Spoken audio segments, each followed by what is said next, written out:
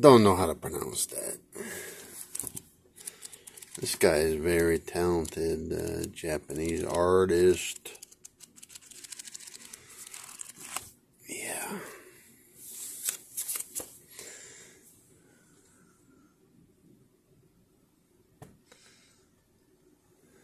Anyhow, we have the new Cura supports and I sliced up a model.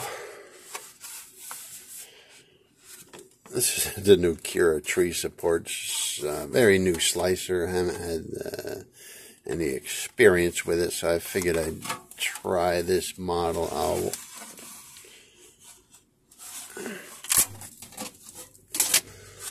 Didn't see any Z banding, which is good. This is actually wood, uh,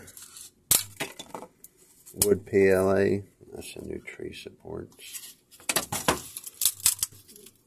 Actually came out good. See the way I print stuff, you know, most people would take that and print it right on a flat surface and hope for the best, but I know this is a little stringy. Um, hope for the best, you know, but supporting that hat from the bottom up would have been a nightmare, so I turned the whole model upside down. Slight tilt on there, because you never want to print flat, flat like that. I guess that's what comes with experience. Got to clean this up a little bit wood PLA is actually not bad for cleaning up. Doesn't have a lot of any other good properties to it, but cleanup is actually not too bad.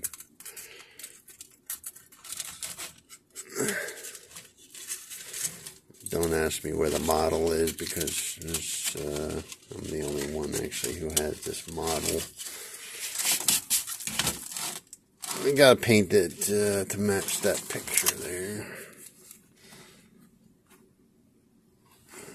Probably should have used white PLA, but I.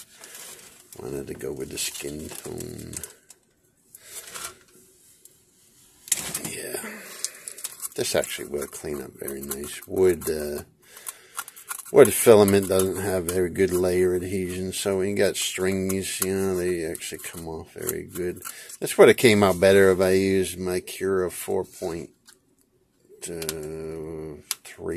I could have went in and used my tree supports and my ultra high quality settings, but uh, if I do this again, it'll probably be in resin. I don't know.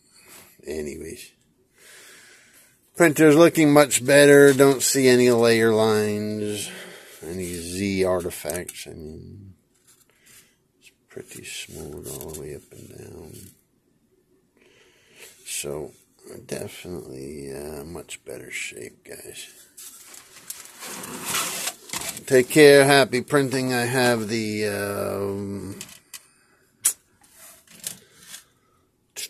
kangaroo, flexi kangaroo I'm going to do next on here. Definitely got to get this uh, wood PLA out of the machine now. I'll show you guys this when it's all painted up.